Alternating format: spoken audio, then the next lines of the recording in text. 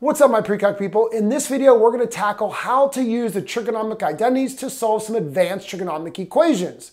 These problems can be, well, a lot of fun if you're really good at identities, and if you're not, they're not so fun. But hopefully you're getting better and better at working with trigonomic identities, and you'll find most of the problems in this video not too bad. All right, let's start taking a look at some examples right now.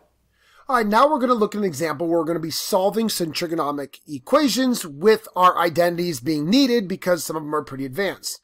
Now in this problem, we're going to solve for all values of x from 0 to 2 pi. All right, so now if I look at this, I have a cosine squared plus sine of x plus 1 equals 0. It's pretty difficult to solve a trigonomic equation when you have multiple different trig functions. Like I have a cosine of x and I have a sine of x. Now, one strategy that we've seen in the past is factoring to help us solve, but I can't factor anything out here. There's nothing common between these terms. But this is where our identities are going to come in handy. I'm going to rewrite cosine squared in terms of sine. The Pythagorean identity is that cosine squared of theta plus sine squared of theta equals 1. So I could replace cosine squared with 1 minus sine squared of x plus the sine of x plus 1 equals 0. Again, all I made was a replacement, a manipulation. I replaced the cosine squared with 1 minus sine squared from that Pythagorean identity. All right, now what I'm going to do is I'm going to get everything on the other side, because when everything's on the other side, it's usually a little bit easier with that square being positive. So I'm going to get everything on the other side here. I'm going to add the sine squared over. So I have a positive sine squared of x. I'm going to subtract the sine over. So I have a minus sine of x. Now this one and this one would make a 2, but I'm going to subtract it over to get a negative 2. Now I'm going to go ahead and factor. All right, how do I factor this trinomial? Well, I'm going to have a sine of x and a sine of x, and then a 1 and a 2. Now, if I make that 2 negative and that 1 positive, I will be able to get an equation that works. Let's just check this out here. Sine of x times sine of x is my sine squared of x. On the outside, I have 1 times negative 2. That's my negative 2 at the end. And then on the outside, I have a negative 2. On the inside, I have a 1 sine. Combine those together and you get negative sine. Now I could use my favorite property, the zero product property, because I have a zero over here and a product. So that means that sine of x plus 1 can equal 0 or sine of x minus 2 can equal 0. And I just have to solve each of these separately.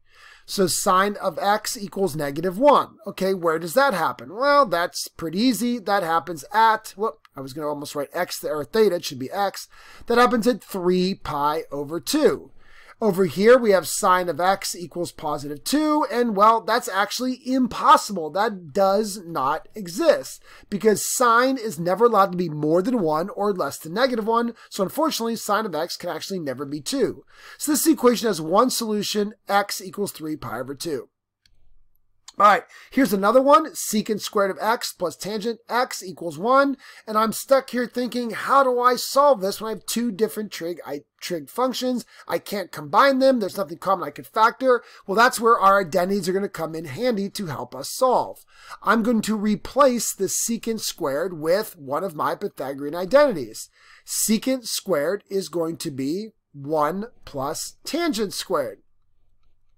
Hopefully you remember that from the identities. 1 plus tangent squared equals secant squared. So I'm literally just going to replace it. And now I have all tangents and I can factor. All right, let's see here. To factor, I do need to have a 0 on one side. So I'm going to subtract this one on the other side. So I get tangent squared of x plus tangent of x equals 0. Now I'm going to factor out a tangent between my two terms. They both have a tangent in common. So I get tangent of x plus 1 equals 0. And I'm going to utilize the zero product property. Hopefully you understand how I factored there. It wasn't too difficult. Tangent of x could equal 0. Where is tangent 0? Well, that's going to happen at 0 and pi. Pretty simple there, I hope. All right, where is tangent of x plus 1 equal to 0? Well, that means tangent of x equals negative 1. And where is tangent equal to negative 1? Well, that's going to happen at, well, think about that for a second, 3 pi over 4 and 7 pi over 4 in quadrants 2 and in quadrants 4. All right, that's it. So I have four answers to this equation, 0 pi, 3 pi over 4, and 7 pi over 4. Pretty good problem. All right, in this one, I have 3 sine of x equals 2 cosine squared of x. Once again, I have two different trig functions, and I can't do any factoring. Well, maybe I can do some manipulation. I'm going to replace that cosine squared with 1 minus sine squared from the Pythagorean identity. So I have 3 sine of x equals 2, and I'm going to replace just the cosine squared with 1 minus sine squared of x. Now I'm going to go ahead and do a little bit of solving here. So we have 3 sine of x equals, distribute that 2, 2 minus 2 sine squared of x. Now to factor, I do need to get a 0 on one side, so I'm going to bring everything over to the left-hand side. I'm going to add the 2 sine squared over, so 2 sine squared of x, plus 3 sine of x minus 2 equals 0. I had to subtract this 2 over as well. And now I'm going to have to go ahead and factor. All right, let's take our time and see how we could factor this. All right, how do I break apart a 2 sine squared of x? That's going to be 2 sine of x times sine of x. Now, how do I break apart 2? Well, let's see here. I'm going to put the 2 here and the 1 here. Let's see if we can make this work. If I get a positive 4 and a negative 1, that's going to generate a 4 sine x on the outside a negative sine x on the inside, and that 4 sine and the negative 1 sine is going to make the 3 sine x in the middle, and the negative 1 and the 2 are going to make the negative 2 on the end there. All right, now I'm going to use the zero product property. 2 sine of x minus 1 equals 0, which means that sine of x equals 1 half. All right, think about that. Draw a little circle if you have to. Where is sine 1 half? That happens at pi over 6 and 5 pi over 6. All right, the second equation I have to solve here is sine of x plus 2 equals 0. And we already saw something similar to this happen earlier. Where is sine of x equal to negative 2? Nowhere. That does not exist because sine of x is not allowed to be lower than negative 1. So this equation only has two answers, pi over 6 and 5 pi over 6. Here we see another equation, 2 sine squared of x plus 3 cosine of x minus 3 equals 0, and we see two different trig functions. So let's make a replacement let's replace the sine squared of x. And to do that, I'm going to use the Pythagorean theorem. And that tells me that sine squared of x equals 1 minus cosine squared. So there's my 2. I'm going to replace the sine squared only with 1 minus cosine squared of x. Plus 3 cosine of x minus 3 equals 0. Distribute the 2. I get 2 minus 2 cosine squared of x plus 3 cosine of x minus 3 equals 0. Now, I always like my square term being positive, so I'm going to move everything to the right-hand side. I'm going to add that 2 cosine squared over.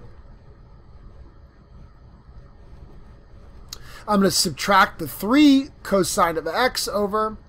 And my 2 and my negative 3 make a negative 1. And I'm going to add that negative 1 over so it becomes a positive 1. So again, really take the time to understand how I went from that second step to that third step. Hopefully it made sense.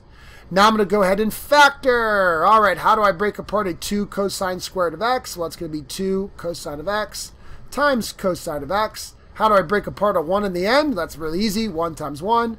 And I want them both to be negative. That way a negative 1 and a negative 1 make the positive 1 in the back. And on the outside I get a negative 2 cosine. On the inside I get a negative 1 cosine, which makes a negative 3 cosine of x. Now I'm going to use that awesome zero product property. 2 cosine of x minus 1 equals 0. That means cosine of x equals 1 half. Once again, to figure that out, draw a picture real quick so you can figure out where cosine is 1 half.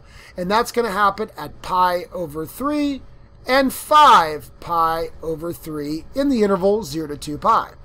All right, then I have cosine of x minus 1 equals 0, which means cosine of x equals positive 1. And of course, that's going to happen at 0. Now, obviously that also happens at 2 pi, but remember, based on my information here, I want to equal 0, not equal 2 pi, because 0 and 2 pi are coterminal angles. So I have three answers in that interval, pi over 3, 5 pi over 3, and 0. All right, and the final question here wants me to solve the equation sine of 2x equals cosine of x for all values of x in the interval 0 to 2 pi. Now the first thing that jumps out to me is a double angle. So I'm going to go ahead and use my double angle formula for sine. Hopefully you have it memorized or you're looking at some type of cheat sheet to help you understand these identities. So sine of 2x is 2 sine of x cosine of x. It's really that simple. equals cosine of x. Now, how am I going to solve this? Well, both sides do have a cosine, so I'm going to factor. I'm going to first bring the cosine over by subtraction. Now, very quickly, I want to pause. A lot of kids will try to divide by the cosine on each side. Now, when you do that, you're dividing out x's because you're literally dividing away the cosine of x that's going to cancel out or reduce away. And we, it's okay to divide by numbers, like you could divide by 2, divide by 4 to solve an equation, but we don't ever want to divide by something that involves x because we're possibly getting rid of solutions. So we want to factor instead. So bring it over to the other side, and now we can factor out a cosine of x and we get 2 sine of x minus 1 when we factor it out. Don't believe me? Distribute to prove it's the same thing. Now I'm going to use that zero product property. Cosine of x could equal 0. That's going to happen at pi over 2 and 3 pi over 2. Not too bad. 2 sine of x minus 1 equals 0. That means that sine of x equals positive 1 half. And once again, draw a little unit circle if you need to. Where is sine positive 1 half? That's going to happen at pi over 6 and 5 pi over 6. So this equation has four answers in that interval, 0 to 2 pi. There they are. So a couple really good problems. I know I went through them pretty quickly, but I'm you know trying to do that for you. You could pause all you want, but make sure you understand what I'm doing here is I'm using identities to do some manipulations to make the problems easier to solve when they have multiple trig functions. All right, that's it for using the trig identities to help me solve some advanced trig equations.